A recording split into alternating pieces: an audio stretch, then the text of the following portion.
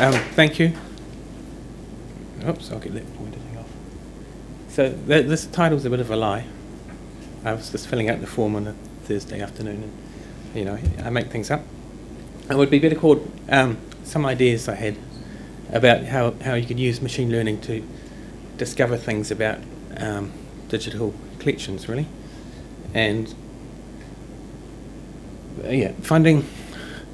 So, using machine learning it would be easy to find soft associations that you can't be sure about um, about all of your items, connecting them together, or or not.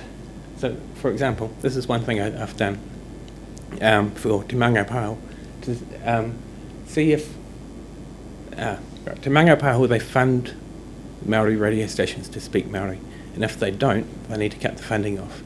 So they need to, at the moment, they pay people to listen to the radio. And I did this pilot where um, we made a machine that would listen to the radio and say what language they're speaking. I'll, I'll do a demo. Um, so when it's down here, it's music. That's, that's saying Te Reo over there. English over that side. Gets a bit confused sometimes.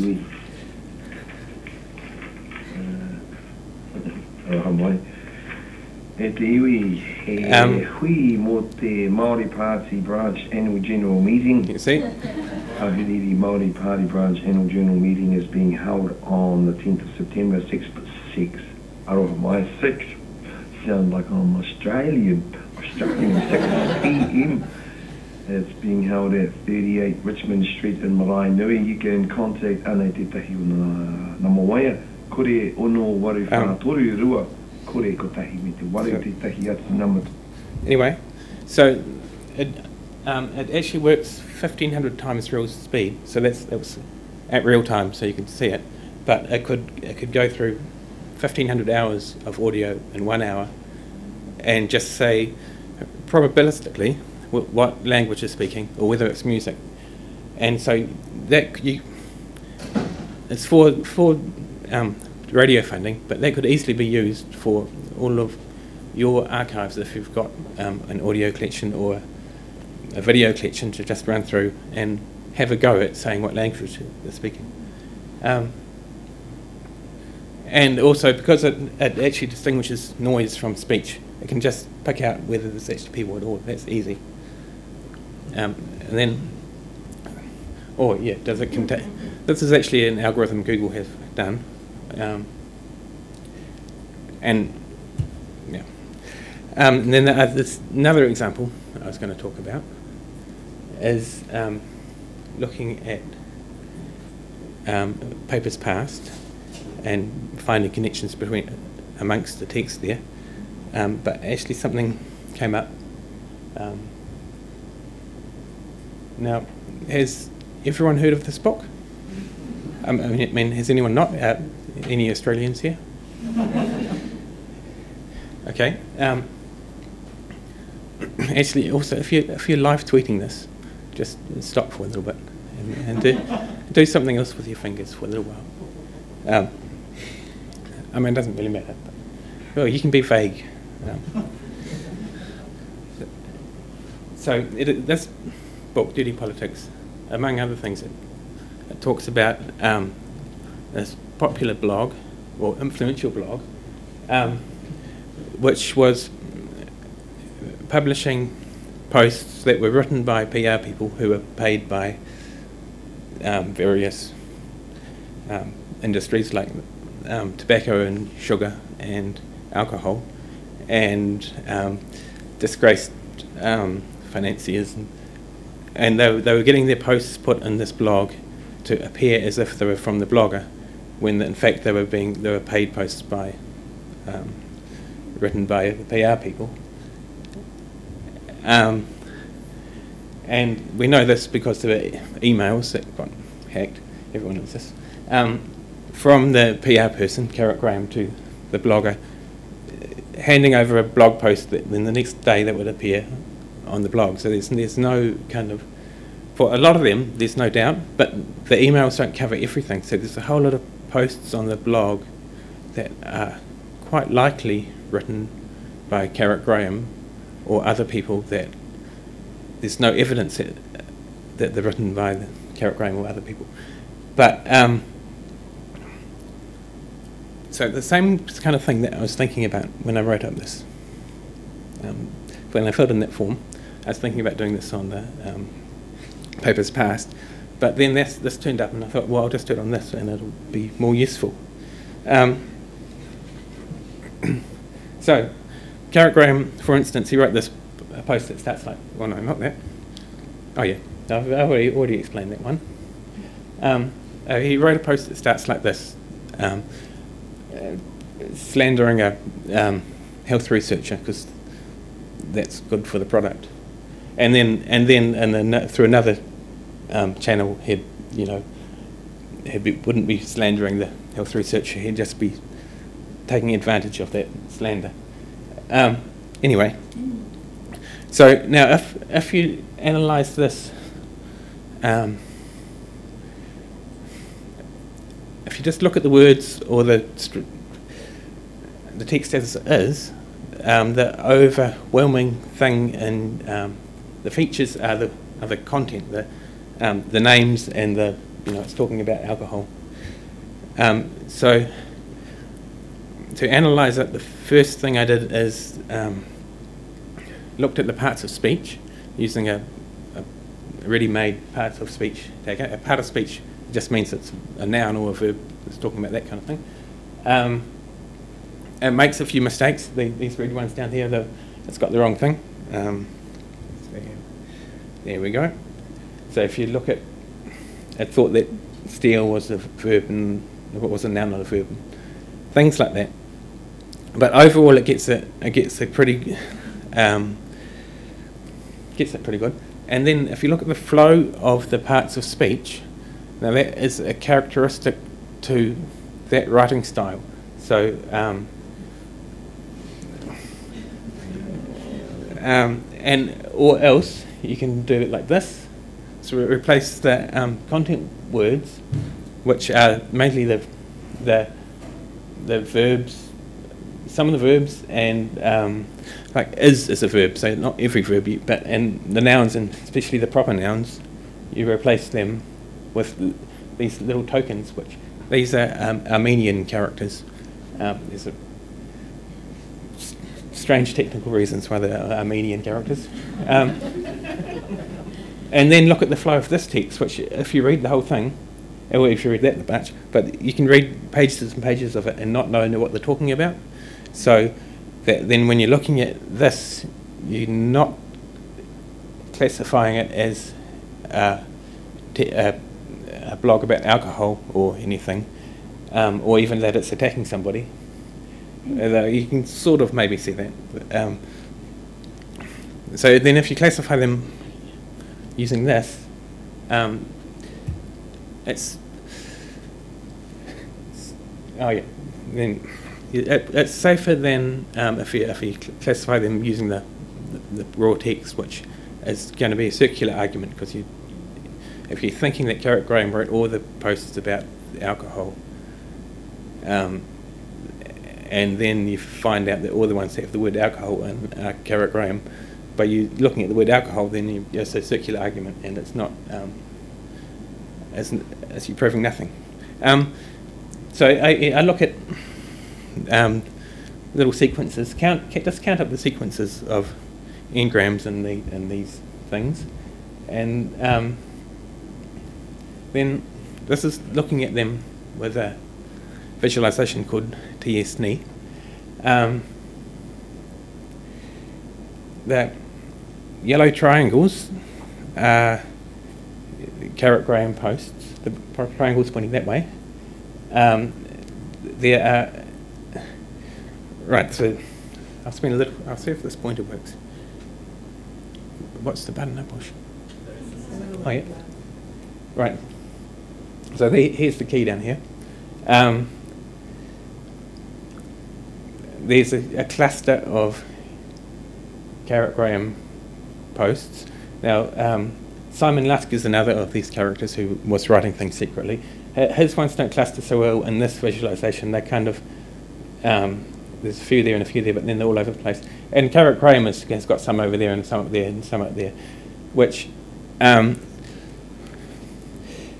some of them it could be that uh, the information I've got about um, that that says that he wrote them is actually wrong. Mean, I'm, I'm not uh, entirely sure uh, about um,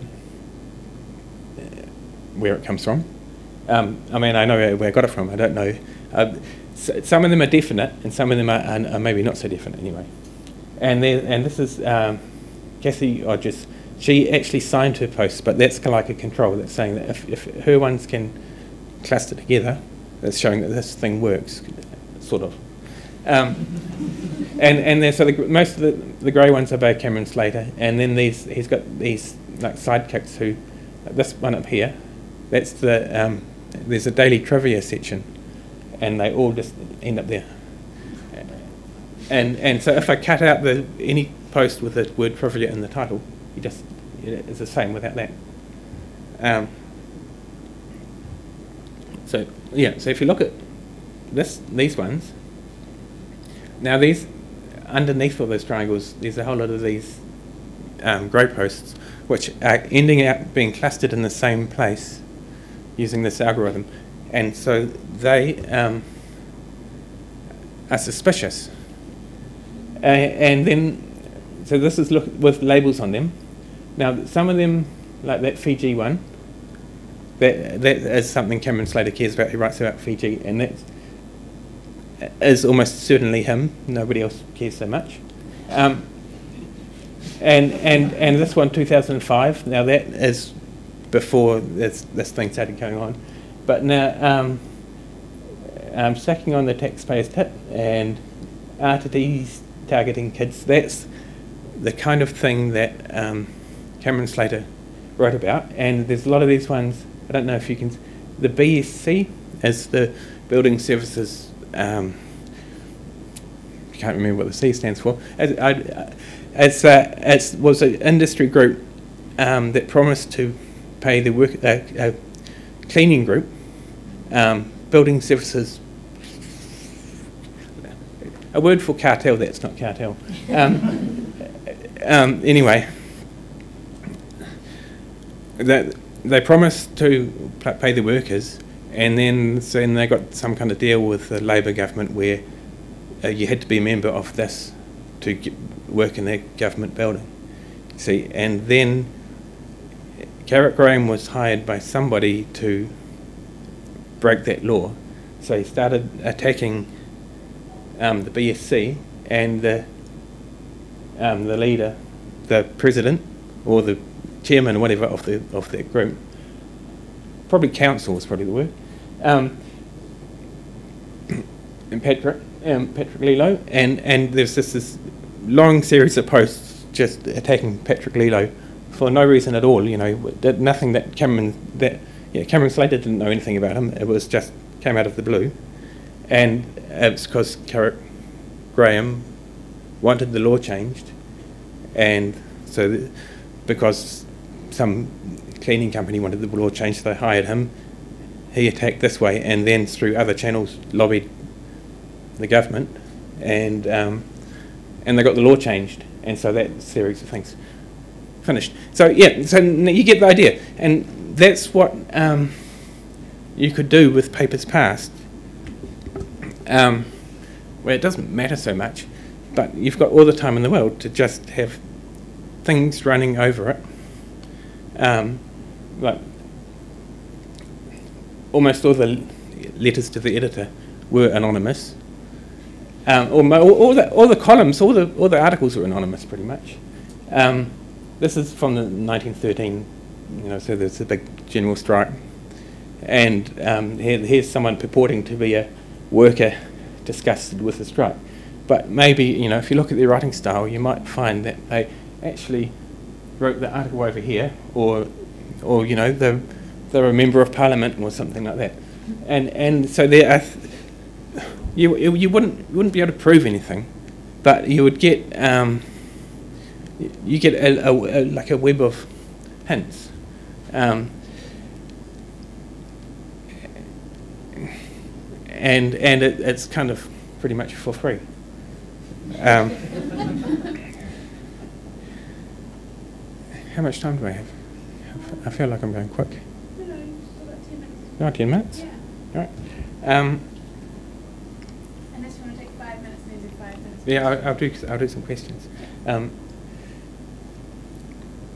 I'll do, there are other algorithms, so this TSNE, this is something I was meaning to say. It's a good visualization algorithm, but it's not really a, a clustering algorithm. It's not the best for actually finding out the, um, the things that were likely to be done by the same person. And um, there are other things I've tried, but they don't look as pretty. So, um, and th- th- nothing is particularly. Um, I don't think anything that will stand up in court or anything will come out of it. So it's not. It's not. Not really very relevant, except that it gives a list of people for people, a list of articles for people who are looking into things to um, um, to look at. Right. Oh yeah. I- so yeah, I don't. I don't remember what I was thinking of. When I, um,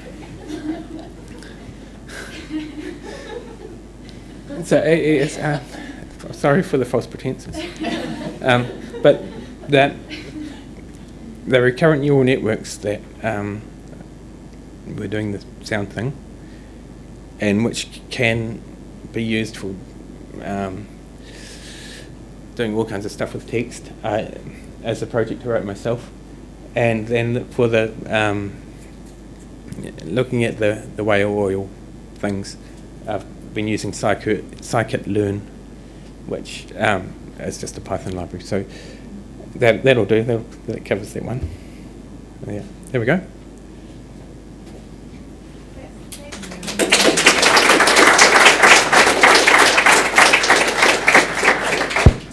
So, um, does anybody have any questions? Douglas at all? We need to use the mic for recording purposes, so. Um, thank you. That was a um, really interesting presentation. Um, I just was curious, like, um, how much to identify somebody's writing style? How much text do you have to sort of uh, give it to uh, your software or whatever to learn? Um, the more the better. So these, um, because each post is quite short, there's just not that much evidence in each one to, to make a definite uh, um, call. But uh, like if I was doing something like if I took um, all the books by Dickens and all the books by Robert Louis Stevenson and took each chapter, say, and shuffled them all up, then I'd be able to, and, and treated them in this way, that which ignored the, the topic, so you wouldn't know it's about pirates, um, I would, I would be able to sort them out pretty definitely, because they're long, you know, a, a thousand words, but these are 300 words. W- You know. Do, do we need to convert uh, text? Uh, yeah. do, do, do we have to um, convert some like, like let's say I have those like Dickens in PDF files, but do I need to convert the file format to something? To Um, no, no, no, it just uses text. So, yeah. Thank you. But I, um, the, the, I did that pre-processing where I was putting Armenian characters in for the nouns and stuff. So it does that stuff itself. Right. Uh, great talk. Thank you, Douglas. I enjoyed it immensely. Um, a follow up question to that one. So, looking at Papers Past, for example, Yeah. if we then, could you get it to learn against itself? So, it would then, you would have each one becomes a control um, instance and it would check for similarities against every other? Because we obviously don't know who any of the auth- authors are for any of that stuff. So, can you make Yeah. it self controlling? Yeah. Um, yeah, sort of. Um, like, um, well, like in that visualization, there were clusters about. Now, if I turned off the um, labels, so they were all just dots, then you would see that there were clusters where um, some under unnames clustered in. Yeah. Um, I was just curious about why you say it wouldn't stand up in court. Just, I, I mean, I don't know the New Zealand system very well. I'm from, Aus- I'm from New Zealand, but I work in Australia, and I'm just moved to Sydney from the Australian National University, where we've got quite a large forensic linguistics department. And I mean, our, our linguists consult to the police all the time, and they're always being called as expert witnesses for author identification and that sort of thing. So I don't understand why. Is it your particular algorithm that wouldn't stand up in court, or is it that the New Zealand system is different? Um? It's a combination of um, possibly just my algorithm and, and, and just the. Um, I think there's just not very much evidence in each post because they're all trying to write in the same style. So it's the, y- mo- most of the literature on this thing is, is well, like one thing I read, read about was the um, Turks and the Armenians arguing over who started it, and and because they're all talking on the same topic, they don't need to ignore the topic, and because they're not um, not trying to pretend to be each other, they're just trying to be anonymous. Then um, they've got more freedom, and they've and they let themselves go. But Carrick Graham is trying to sound like Cameron Slater, and he, Yeah, um, and I'm not I'm not a, actually a forensic linguist, so that I, I wouldn't stand up in court very well anyway. You know. But it seems that, I mean, from, from the literature at least, the Ngram um, approach to stylistics is one of the most accepted approaches. So I think, I mean, unless your algorithm's doing something particularly weird, I think Yeah. it's one that would be appropriate for this sort of consultancy work if, if somebody, if a lawyer or someone was interested in following up on that. Yeah, I, and in fact, the, the recurrent neural network is much better than the n-grams, but no one will believe that yet. so, yeah. Okay, thanks. yeah. Um, yeah, I really enjoyed that. It was, it was great to see the, the outcomes of that. I'm just sort of curious in terms of Papers Past, there's a lot of uh, OCR errors in the text. Would, would your pro- approach kind of be, involved? you know, would that matter? Um, would it still kind of find matches even though there's, there's a certain amount of noise? It depends, I think, how even the noise is. If like if you if everyone's affected the same, roughly, it'll it'll be fine. Noise is good. Um, uh, if some of the newspapers, or you know, one say one edition is really dirty and it's just got um, lots of noise, then then they'll probably all cluster off together, you know, because they will look like garbage. So, so uh, it would kind of look after itself in a way, because um, the one, the, you know, the ones that look like garbage will just get thrown out as the, in the garbage pile.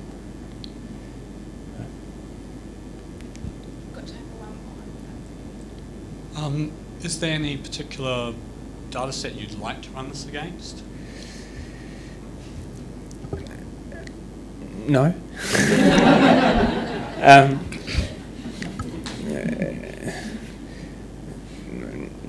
no, no. Um, Okay.